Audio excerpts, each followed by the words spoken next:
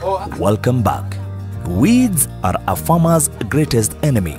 This is because they compete with the crop and if they take charge, crops end up withering due to fewer nutrients gathered. On a fodder farm, weeds are present and if a farmer cannot differentiate a weed and a crop, they end up infecting an animal. For example, the datura weed is a poisonous weed and it might blend in with the lucerne fodder, thus killing an animal during feeding. Samuel expounds on the remedies that a farmer can use to manage weeds on their farms to moderate risking your animal. I believe most of the farmers that you're talking about, they are a bit experienced. They are not telephone farmers. But for telephone farmers, there are herbicides that will wipe the weeds and then they are going to leave the fodder on the farm. So there are still management, weed management that uh, we are able to practice on fodder. You don't have to weed. And sometimes we are forced to pick Many dairy farmers are grappling with feeding their animals, particularly on protein feeds that are usually the most expensive feed type. A farmer might easily be tempted to reduce protein feeds in a dairy animal's ration to keep production's cost low. Desmodium is a trailing or climbing perennial legume with small leaves and deep roots which in favorable conditions forms a very dense ground cover. This fodder crop is of high quality protein rich forage. It can be grown between or under other crops as it fixes nitrogen. It increases yields and reduces the need for nitrogen fertilizer. Desmodium is a, is a, is a proteinous fodder that has a, a protein of about 50 to 25. This will depend on the stages.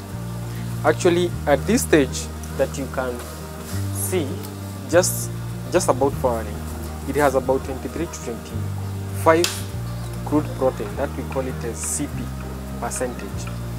And uh, the digestible fiber is between 56 to 76. This is very nutritious, but again, at this stage, there's a lot of water content. The DM, the dry matter, is quite low. So what you do when you harvest at this stage, you will cut and wilt. After wilting, you lose about 25% of the water. That's that's why increasing the DM, the dry matter con- content, which is very important, so that the cow can eat enough. When the fodder has a lot of water, the cow does not feed enough because basically you're forcing water into the rumen. But when you let it wilt, you get to feed enough fodder. At this stage, we can also fertilizer with NPK. NPK is um, you can use 23, 23 or 17, 17, 17. For desmodium, we don't use nitrogenous fertilizer because by itself, it is, it is able to convert the nitrogen that is on the air to the soil because it's a, it's a legume by itself. Well, to get enough of desmodium, desmodium can be intercropped by several crops. Like in this place, you can see it, is, it has merged well with grass, but it should be tufted grass. What I mean by tufted grass is standing grass that can support itself. So here you can pick, there is what we call nandi. Nandi grass is what has mixed with the desmodium. Well, somewhere here at this stage, there's this color you see, the paling. That tells you there's a phosphorus has a deficiency. The reason why there's a deficiency in phosphorus, it's because we are using the dairy, the dairy cow manure. Dairy cow manure is not sufficient with uh, minerals. The reason why, when the fodder gets into the cow's rumen, it squeezes all the minerals and the vitamins to formulate milk and also for self-sustaining and then for reproductive system. So the manure we are using is not very rich. That's why I say when you're using manure from a dairy cow, you need to supplement with fertilizer. It's very important because the nutrition value you see for desmodium will be transferred back into the animal again. So if it is not well fed, the feeding regime of desmodium is not well managed on the farm, then what you're offering the cow is roughage. Definitely it's, it's for feel-good effect. It's not for nutrition purposes. And that's where most farmers go wrong. They assume desmodium is natural. But assuming this desmodium will be here for the next four years, how much minerals is it depleting from the soil without reversing back? That's the biggest question we should ask ourselves. The first year you'll find the desmodium doing very good. The next year, the production goes down. The third year, it can even uproot itself, simply because it's feeding on nothing. So, when you want to have a pure stand of desmodium, you need to think about nutrition value or feeding regime of desmodium. Desmodium is best for dairy goats, calves, and uh, newly calved um, high producers dairy because it will also cut the cost of dairy milk concentrates. I hear most farmers are crying a lot about the dairy meal expenses and all that. Desmodium can be a solution because 1 kg of dry desmodium will stand for 1 kg and a half of concentrates. So you can see it is cheaper to maintain a desmodium rather than buy the concentrate from the shop. Number two, the concentrate you buy from the shop, you don't know the ingredient inside, the nutrition value inside. You're only told. How sure are you what you buy is what want? But when you grow your own fodder, you are able to get exactly what you want from the plant. Uh, well, um, when you're planting desmodium, there are two ways of establishment. You can use seed, which a bit is very technical for people who are very new into it, because you need to bury at two millimeters depth in the soil. Uh, when you are do, when you are not able to do seeds, because also the, the the rain intensity will also matter. If the rain is not enough, germination will always be poor. And then establishing that weak new plant, you need a lot of irrigation. And most parts of Kenya, we don't have irrigation water. We, we only we only have domestic water. So it's good you use um, the rainwater to make it cheaper. So uh, if you're not able to do seeds, then you can do, they are called splits.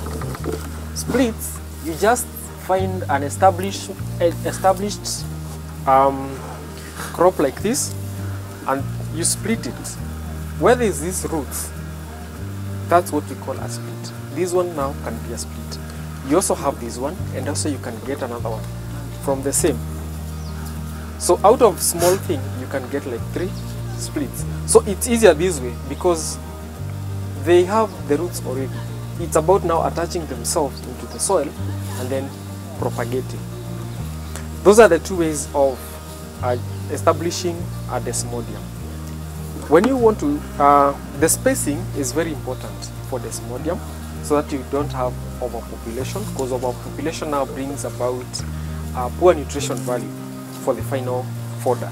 So the, uh, the, the, the spacing should be uh, one foot by one because you want to establish something like this where there is no space left and then now the splits can colonize the remaining parts.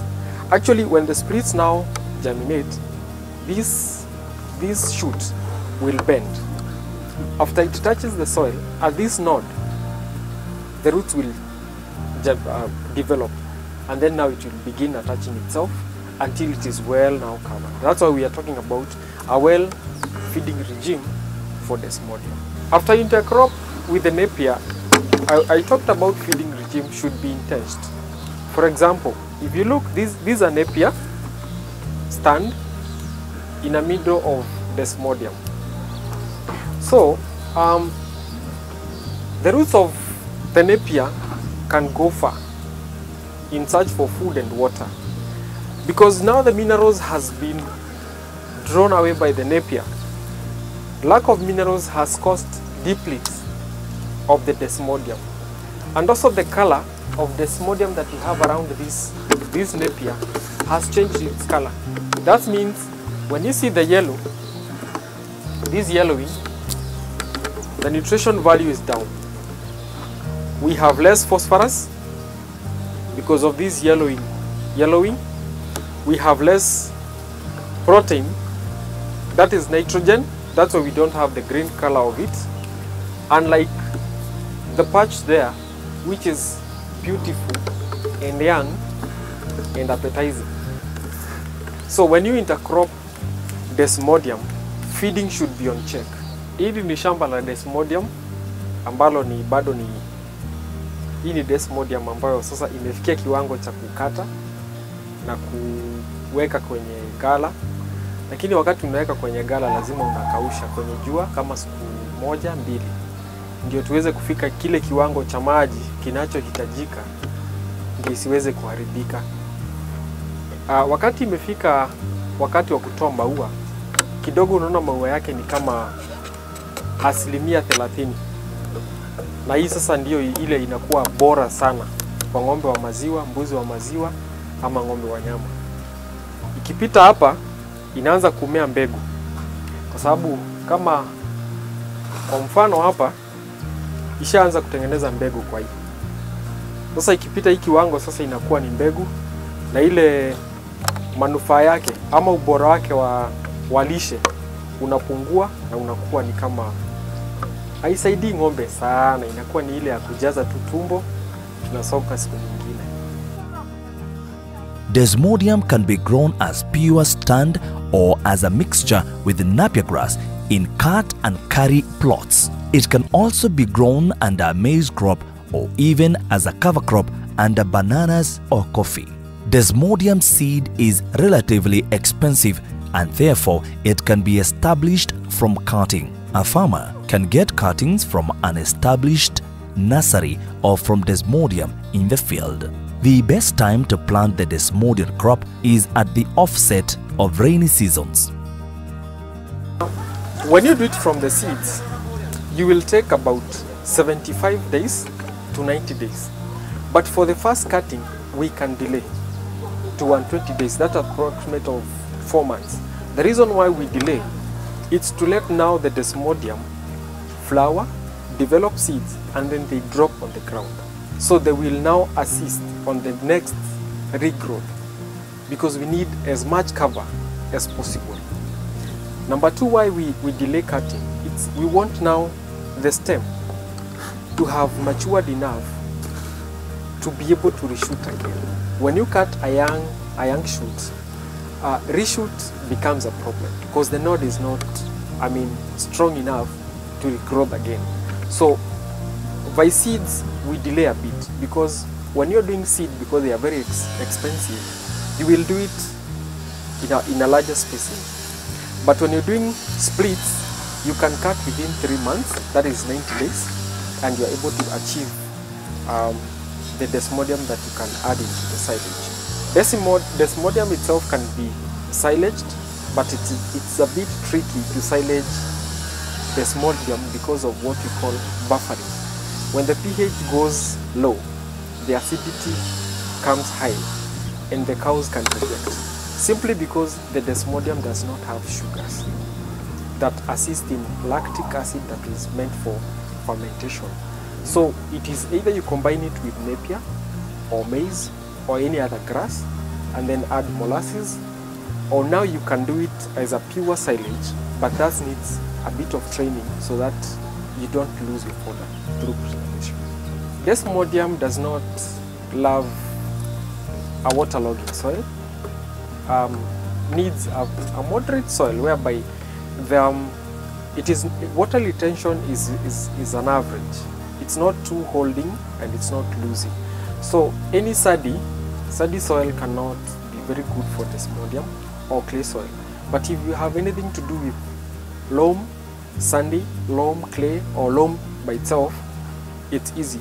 Like this one, this one is clay loam because it's sunning, it is loose, yes, but it is dark, almost like clay. This is actually the best soil for desmodium. That's why you can see the, the, the regrowth is a bit attractive. Well, desmodium is a bit uh, drought resistant, but At early stages, it requires a lot of water. That's all. At the beginning of this talk, I said you need to, to know your rain pattern. Utilize the rain when you're establishing desmodium. It will be a bit easier and cheaper. But you can do it under irrigation for those uh, established farmers who have the resources. But basically, desmodium will love, if you irrigate, the more you cut.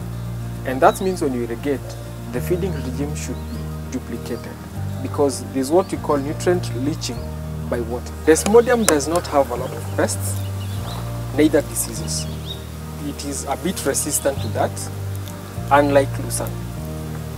So, if you're looking for a cheap uh, protein fodder, you can think of Desmodium because it hasn't, it doesn't have a lot of pests attack or diseases attack, and its management it's very easy and cheap to keep to maintain. There are numerous varieties of desmodium, but the two most common are the green-leafed and the silver-leafed ones.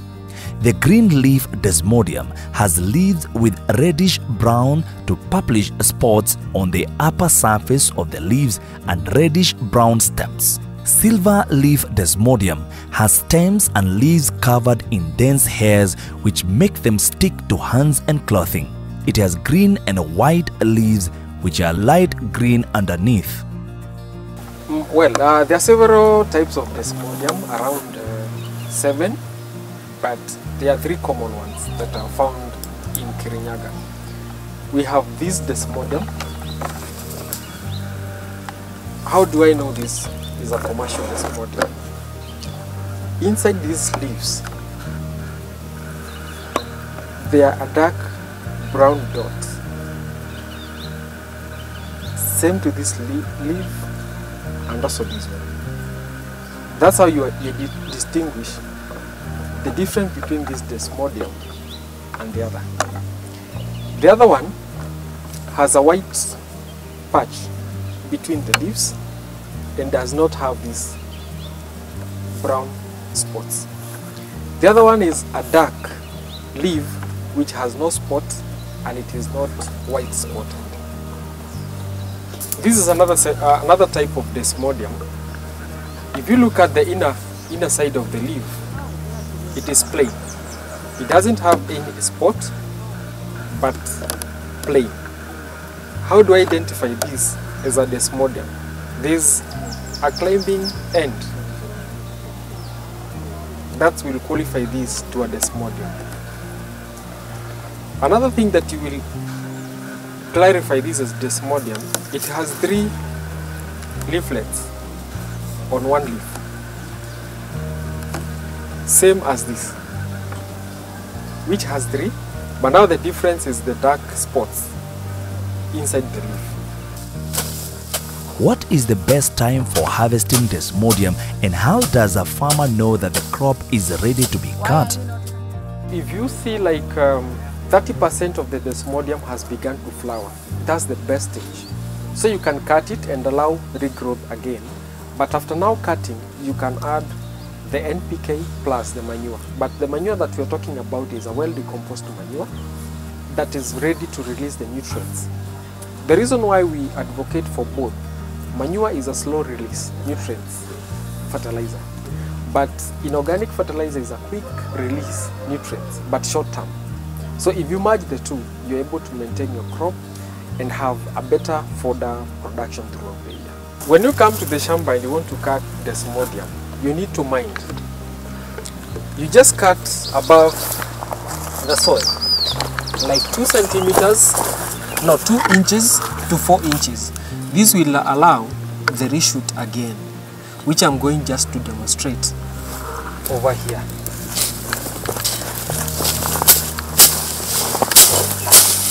Now you cut and then you make sure your hand is well greased, that you don't choke your fingers.